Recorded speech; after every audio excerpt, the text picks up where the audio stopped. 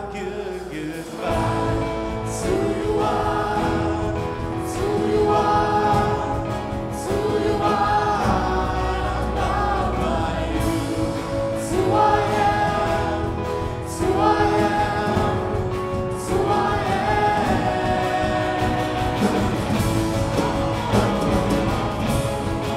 Most of the judges were leaders. There were leaders that were appointed by God, and there were leaders who led the armies, and they also judged. They arbitrated people's decisions. So somebody would have a quarrel, they would come to them, and they would decide the matter for them. Well, Deborah was a judge, but she was not a military leader. She did not lead people into battle.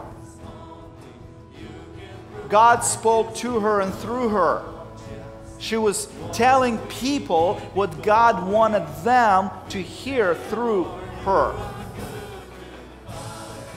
When you want to be free, when you want to be free in Christ, you can't put conditions on your relationship with God.